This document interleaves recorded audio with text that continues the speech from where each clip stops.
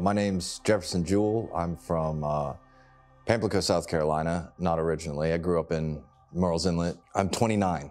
I'm here for alcohol. I'm, I'm an alcoholic, uh, recovered alcoholic. Been heavy drinking for the last 10, 12 years of my life. When my sister first brought up this recovery center in Green Sea, South Carolina, I didn't really know what to think, honestly. It was a little nerve wracking, uh, maybe a little bit more than a little bit, which equals a lot. I, I did not imagine what I got out here and saw. Everything that I probably did picture in my head was dashed. And honestly, I think that was a good thing.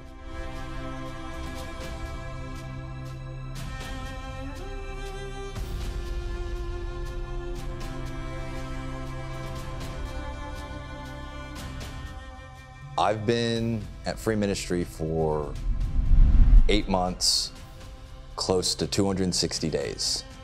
Um, and every minute of it has meant something to me as I've worked on myself and sh- was shown support from everyone that I've interacted with here.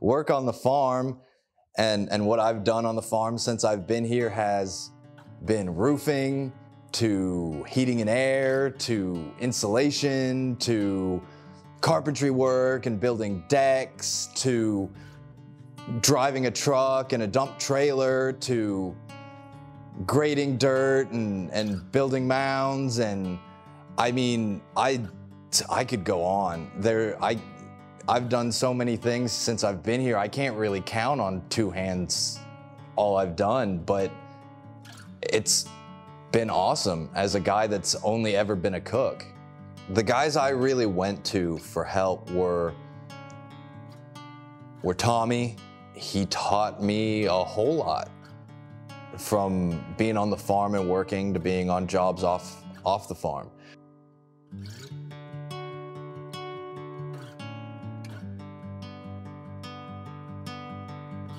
Thank you for my children. I want to pray for them and pray for my grandchildren. and, uh, all our families, Lord, in Jesus' name, amen. The other Jeff on the farm, he uh, brought back to life that side of me that likes to joke around and and cut up a little bit um, because somewhere around the along the way somewhere I, I guess I had lost it and the last one I would I would say it's Patrick, Shorty. Uh, we had a we had a connection, both being cooks, trade cooks.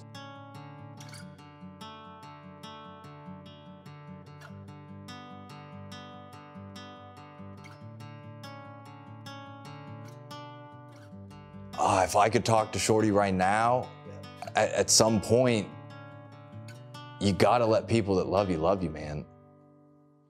Like, the I don't want to call it a pity party, but that's what it is, man. You gotta you gotta let the walls down. The excuses have to stop. Doing? I've had better days. Did it beat your ass? Kick my ass. Yeah. Yeah. Well, good to see you. I'm glad to see you. Come on, bro. I love him to death, man. and I just I just really want to tell him that, man, I love you. The people here love you. Love, not loved. And you you gotta let those people in before you can really start cleaning house. But those three guys, they they got me through a lot of the the days I really thought I was just done. That I wanted to say I'm good and a beer's not gonna hurt me. They they were the guys that were like that pulled me up and said, hold on, think about this. If if you do that, where are you going to be?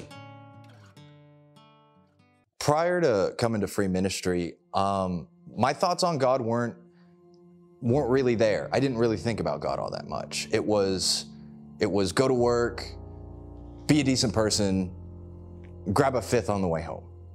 And I didn't give God too much of my attention because it was it was more about I can do it myself. And that's that's where the line fell for me in religion. Being out here at the church by seven and, and well before seven and starting and and reading through the Bible was not something that I ever thought I was I was going to do.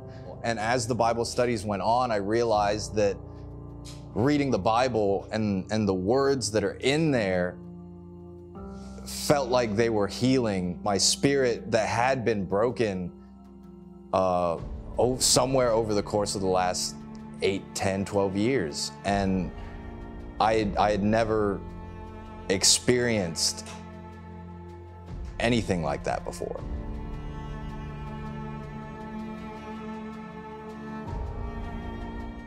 The wise are glad to be instructed, but babbling fools fall flat on their faces. I've tried to uphold with being here, you know, having an attitude and being who I've been for so long, you know, I'd always have a knee jerk reaction to mouth off.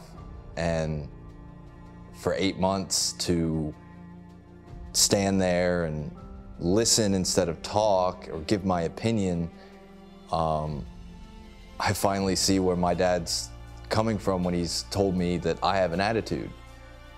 And I've, I've tried really hard, really hard to work on that. What I want to nail to the cross as I get ready to leave here is something I've really thought hard about the last three, four days. And I, I wanted it to be to keep me on the right path to hold on to my sobriety. And then I kind of felt like that wasn't really giving him anything.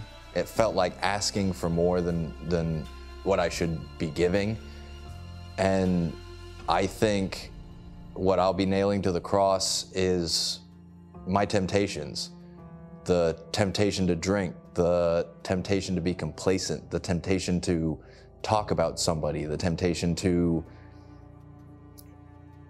be complacent and say that's not my job, the, the temptation of taking the easy road instead of hiking up that, that rougher path that, that I know maybe God wants me to take. Jimbo's a,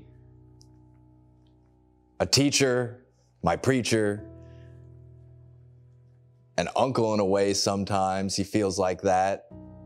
A motivator. He wants 110 and he's not going to take less. And to me, that's, that's what I want. That's what I want in somebody that wants me to be better, that wants me to, to realize the drinking was nothing but a distraction from from who I really am. Uh, he's he's somebody that would just go through high tide for somebody, and the things he's done for me in the eight months here, through correction, uh, affirmation, and and all of the other things that come with recovery, I I mean, he's he's somebody that I hope to honestly and truly hope to to know and be able to go back to with struggles that I know I'll face in the future. Uh, boss man, Miss Lynn, um, the things you've done for me over the last eight months, I never thought anyone would do for me, honestly truly. I've been around people for so long that have just said, you'll get it together, and left it at that. And I've cried for help. I know I have, in jokes and sideways glances and and acting out in, in a drunken stupor. And, and I've found two people that saw something that I had thrown away and picked it up and told me, don't let go of that, man. That's who you are, not the bottle, this is.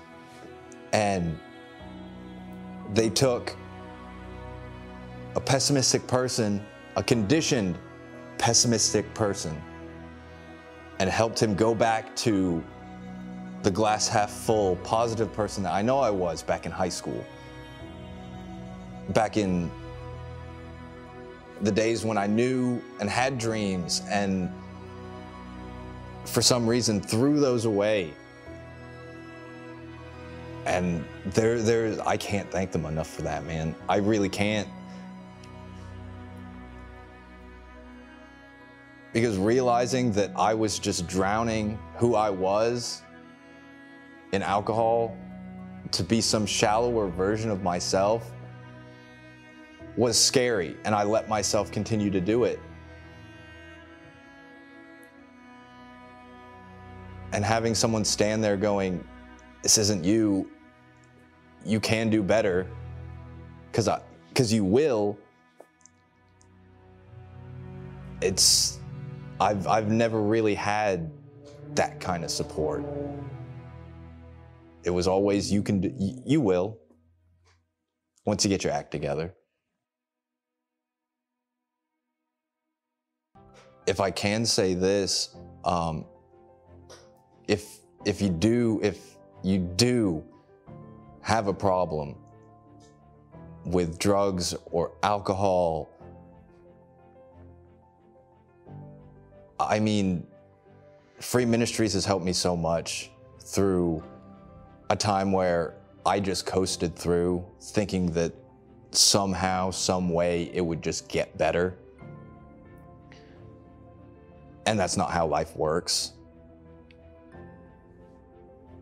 But I've found that since I've been here, sometimes you need someone to say, that's not how life works. It's a little bit rougher than that, and you need to be prepared. And being able to read the Bible and, and find God through Jimbo pushing me, I've, I've found happiness that I never thought I'd have again. I've found a work ethic that I thought I'd thrown away. I had found faith that I never thought I'd have. And I just, I, I just really, really and truly want to say thank you so much. And because I really hope that someone else comes to free ministry, maybe with my same problem. And, and maybe they watch this, maybe. And maybe they get it. And maybe they do get better. And that maybe I know through God isn't a maybe. It's a, it will. It will get better. Because with Jimbo and Miss Lynn's help, I've turned it could be into it can. And that's all I hope for down the road is maybe this will pay it forward to somebody else. That's and again, I have Jimbo and Miss Lynn to thank thank for that.